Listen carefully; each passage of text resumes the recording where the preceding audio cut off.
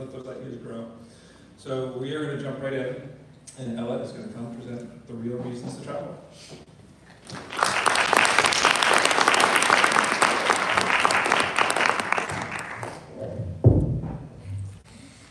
Picture yourself in the heart of one of the most famous churches in the world. You just landed in Madrid one week prior with nine classmates and two teachers, ready to embark into the great unknown of freshman four point. You've been staying with a host family of five in the outskirts of Zaragoza, one of Spain's largest cities. This is how I spent my last two weeks of March for my ninth grade immersion trip. The date was Tuesday, March 27th. At the bright hour of 7 in the morning, as the sun rose over the foothills of Spain, I sat in the car of my host mother as we drove into the city. She dropped me off at Zaragoza Central Station, where I convened with my group of classmates and teachers. After exchanging a quick recap of our night apart, we boarded the 745 train to Barcelona. One and a half hours and 314 kilometers later, we were a third of the way across Spain and slowing into Sants Station in Barcelona. We departed the train and got on the metro, which took us to a stop labeled La Sagrada Familia. I've been looking forward to this day ever since I got the itinerary, as I had heard of this famous destination and always wanted to visit in person. As we climbed out of the underground metro stop, we were told by Mr. Alford, don't turn around until I tell you to. Upon giving his signal, we all turned to face one of the most breathtaking structures I had ever seen. We had the opportunity to take a tour of the inside of this unfinished church, and the views kept getting better and better. After the 30-minute tour around the church, we convened outside and sat on the side of the street. We were then told again by Mr. Alford to go back inside, because when would we ever see something like this again?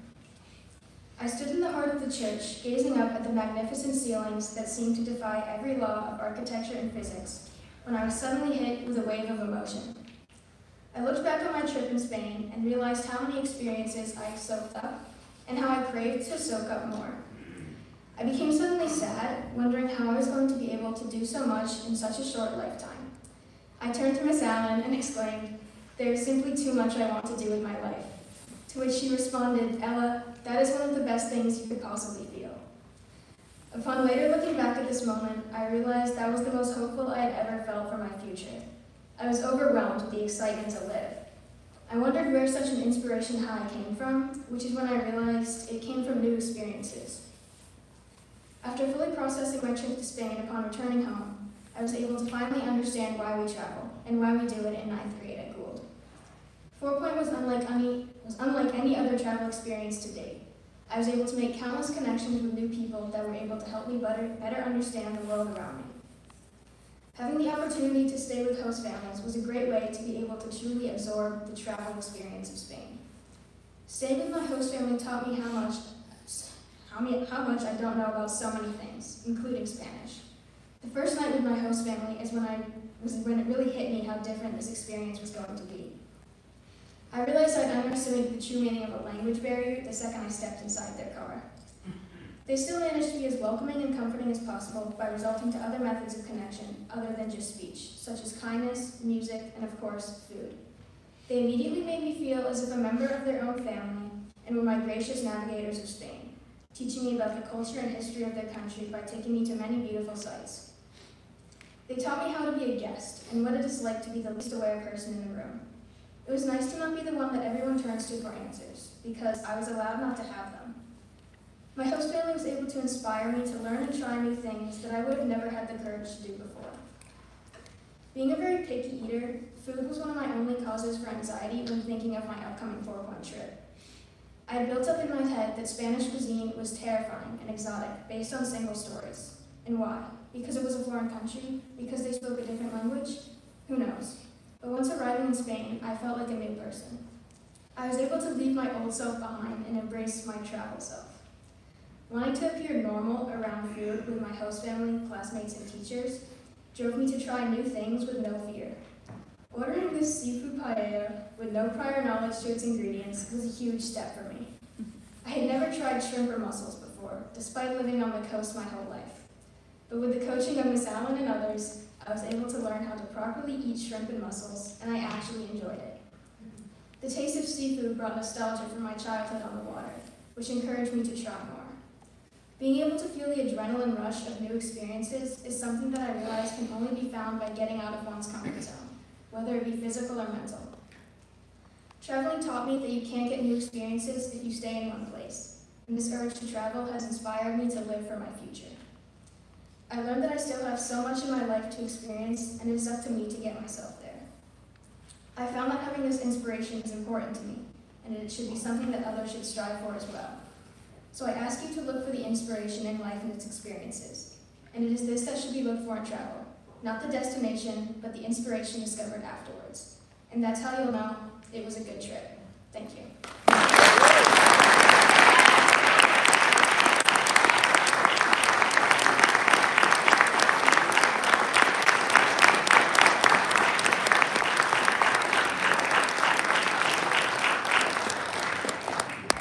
Okay, I wish I had time, or I wish we all had time to see all of the ninth grade Ta- TED Talks that they produced. Um, If you had the chance to go to trustees while they were presenting, uh, you saw some of the special, special talks, so thank you, Ella, for doing that. And ask the other ninth graders what they talked about. The Next up, Catie Caggiano.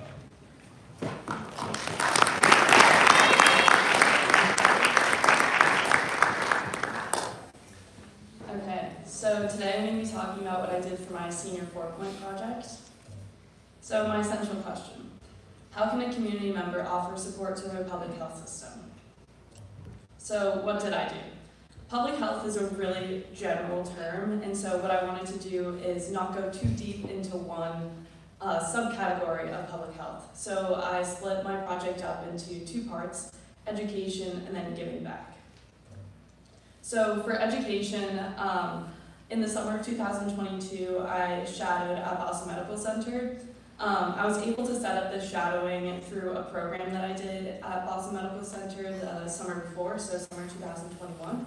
Um, so this program was all virtual, and it consisted of weekly Zoom calls, probably like three a week, and where we were spoken to by healthcare professionals.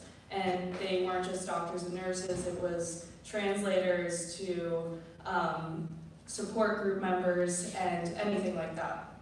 So um, that's where I met Dr. Herstack. So she presented to us about addiction medicine, um, and it really resonated with my interest in public health. So I reached out to her and we scheduled an interview. And so um, through that interview, I was offered shadowing with her. So I was able to set up three shadowing um, things in the OBAT clinic so far and Catalyst clinics. So these are all three different addiction medicine clinics, and I'll go into more detail about what those mean. So a little bit about Boston Medical Center. It's not a typical hospital. Um, the reason why I was interested in working with Boston Medical Center is because it's a safety net hospital. This means that they offer um, health care to anyone regardless if they have health insurance or not. Um, that's why, so they have a really big patient demographic. Um, that's why they're equipped with translators, social workers, and really a large healthcare um, team. And so they also have a really robust uh, addiction medicine program. So each of these um, are different programs. Uh, these are the ones that I participated in. So first is the office-based addiction treatment clinic. So this clinic is a primary care-based clinic, and which isn't really a usual addiction treatment um, center. So it's kind of a new way of looking at addiction medicine is through a primary care basis. Um, so I shadowed Dr. Herstack, um, and we saw patients from referrals and their current everyday patients, um, anywhere between someone who's uncomfortable with their alcohol use to someone who had just relapsed the day before. Um, and so at the Catalyst Clinic, I shadowed Dr. Bagley. Um, she works with adolescents who suffer with substance use disorders. Um, so I saw three patients with her, and um, each were within the, at least two years of me, which was really interesting to see. Um, and then at the SOFAR clinic, they work with anyone who's affected by um, a substance use disorder, whether that be parents or the patients themselves. Um, and so at this shadowing, I was able to sit in, in a team meeting. Um, and so I got to see the patient navigators, social workers, nurses, doctors, everyone together and what their roles were. So the types of patients I saw. Um, everyone I saw was affected by substance use disorders and psychological trauma. Uh, this was really prevalent in the clinic with adolescents because when you're around um, opioid use from ages two and up, it really affects you. Um, and so a lot of the patients that I saw were dealing with anxiety and depression as well as their um, addiction. And so uh, in the clinics, they are specialists, so they saw regular basic patients but also referrals, um, which was interesting to see because they had um, a really good connection with the current patients, and then I also got to see what it looks like to be a specialist in addiction medicine. So the two medications that um, are used in addiction medicine are buprenorphine and methadone. And so these words were kind of circulating throughout the clinics, and it took me a while to understand the um, uses for each of these because they're very distinct. Um, so buprenorphine is used when a person is on steady recovery, and it kind of just aids them um, by blocking the um, receptors in the brain for opioids. Um, so buprenorphine is kind of what the current patients were on, um, leading them to a steady recovery. Methadone, on the other hand, is used right after a relapse. So a lot of times uh, patients go to a methadone clinic, get prescribed methadone for that day, and they go back every morning for about two weeks.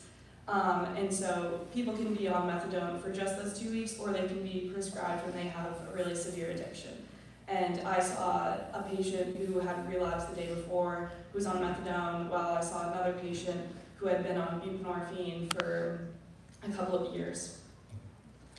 So other than addiction medicine, I'm also really interested in women's reproductive rights. So um, for my second part of my project, I wanted to focus on something um, that kind of was in that realm. So I've found uh, Moving Health. It's a nonprofit, and I um, worked on their development committee, which basically what we did was um, help, we held monthly Zoom calls and discussed events and um, fundraising. And so we met on Zoom calls like this. Um, sorry, my pictures are really lame because I couldn't really take pictures in hospital and all I did here was Zoom call. And um, so this is what the anti-gala looks like. This is their main um, event that they host. And so it's basically a big fundraiser for their major donors um, where they can um, get to know the people who make the ambulances and um, just get to see how the organization is doing. So a little bit about Moving Health. Um, it started in Boston, actually with two MIT students. It was their thesis. Um, and so they basically had an idea to solve an issue in Ghana um, for pregnant women. Um, so a lot of times pregnant women will find themselves um, in delivery but no way to go to a hospital. So they'll um, have to have their children on the streets. And obviously this is a major issue um, and so Moving Health tackles this by creating ambulances that fit on the back of a motorcycle. Um, and so this is actually the first model of the ambulance made by the MIT students, and this is now what it looks like. These are most current ambulances, so it's pretty cool how far they've come. Okay, so what I learned.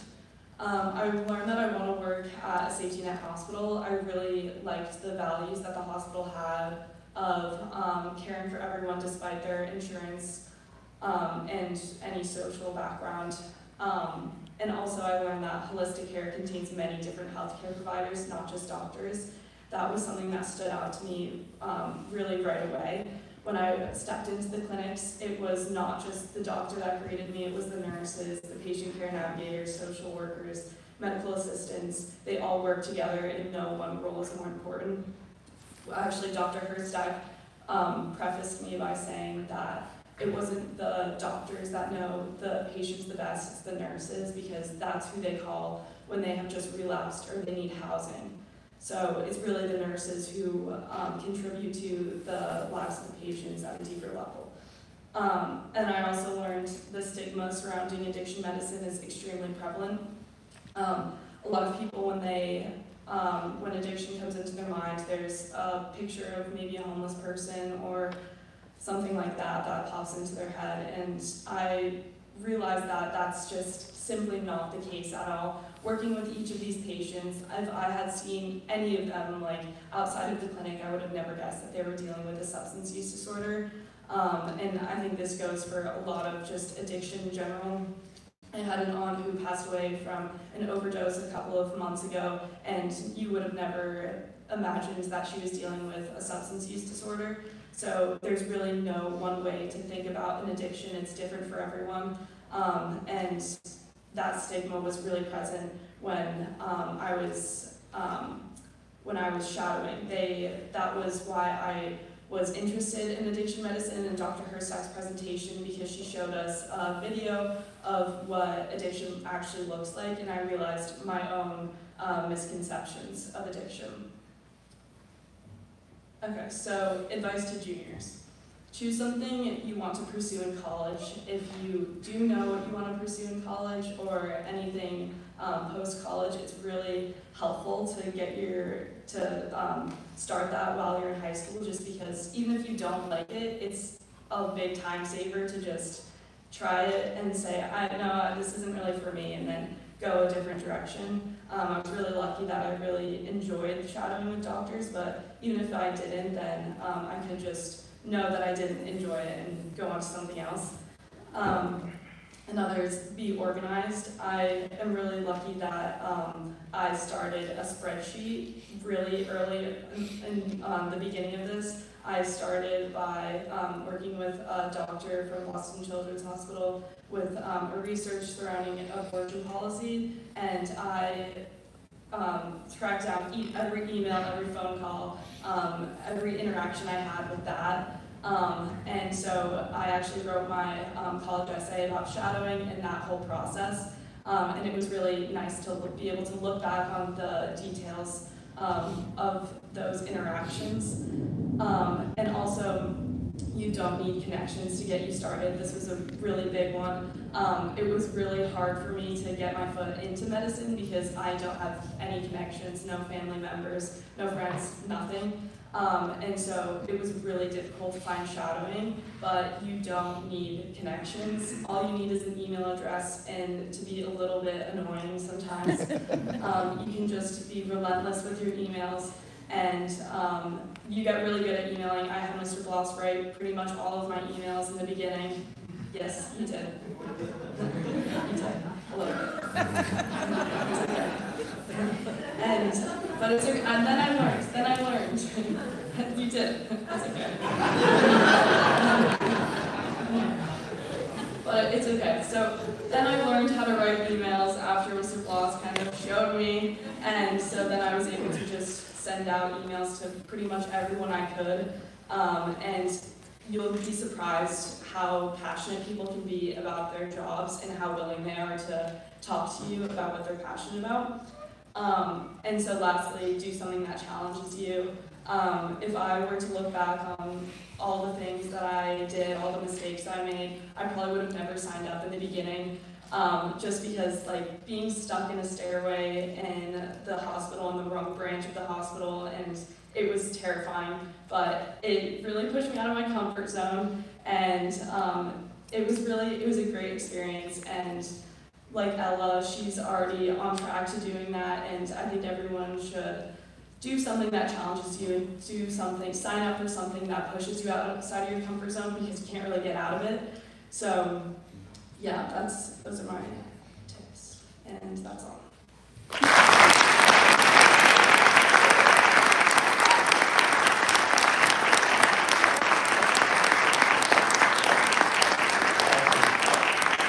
Thanks, thanks to all seniors who presented in front of Assembly. Thanks for all the hard work for everyone that did TED Talks, that did senior four-point projects.